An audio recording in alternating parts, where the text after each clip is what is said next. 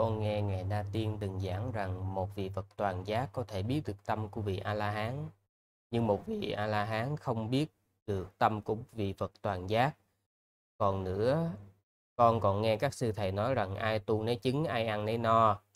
Nhưng trong thời khắc Đức Phật thành đạo, Ngài có ý định nhập Niết Bàn thì Đại Phạm Thiên làm sao có thể biết được Đức Phật đã chứng quả giải thoát tuyệt đối.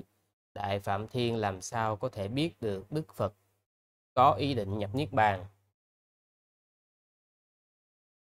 À, thưa với quý vị đó cái chuyện mà một vị Phật à, à, một vị A La Hán à, thinh văn không biết được à, tâm của một vị Phật toàn giác nhưng nhớ ở đây là không biết được tâm vị Phật toàn giác khi vị này an trú trong cái phạm vi hiểu biết của vị Phật toàn giác tức là trong Phật trí đó nha. Trong cái ờ, vật ký của một vị Phật toàn giác thì vị A La Hán không hiểu được không biết được. Chứ không phải là mình um, hoàn toàn mình uh, mù tịch không biết gì cả. Sư nói giống như á, một cái đứa nhỏ 7 tuổi nó nghe một vị à, giáo sư chuyên ngành vật lý mà thuyết về cái gọi là cái thuyết tương đối của vũ trụ đó. Con nít nó nghe được mà đâu phải nó không nghe được nó nghe nó hiểu từng chữ nha nó nghe nó hiểu từng chữ một nhưng mà ráp một cái chuỗi đó lại nó thành ra cái nghĩa gì thì nó không biết. Cái nguyên lý cũng tương tự như vậy đó.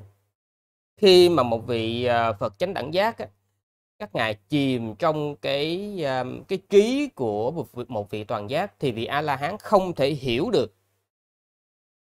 Nha.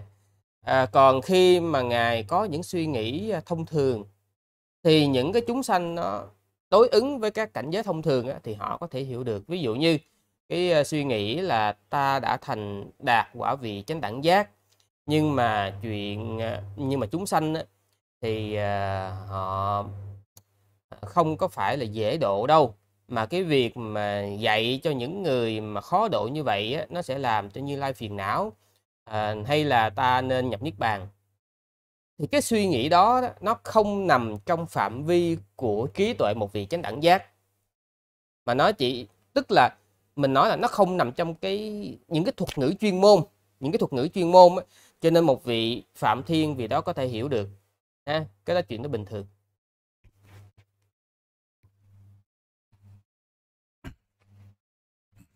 Sở dĩ ông phạm thiên á xăm bát tí ông biết được là lúc đó đức phật cũng niết bàn đó là do ông đã trải qua nhiều vị phật.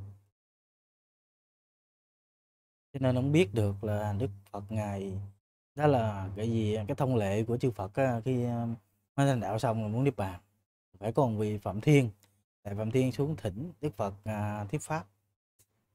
Cũng giống như đạo sĩ tư Đà đó, khi mà lại à, xem tướng cho thái thái tử Siệt Đa mới mà còn mới sinh ra đó thì ông cười ông khóc đấy ông biết Đức Phật thành đạo rồi.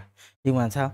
Thành đạo khi mà khi mà Bồ Tát thành đạo rồi thì ông lúc ông ông chết à ông khanh cõi vô tưởng à ông đắc thiền. Do đâu ông biết cái đó, do ông lên cõi trời, ông nói chuyện với Phạm Thiên ở chảnh cho nên ông biết được ba mươi hai tướng tốt.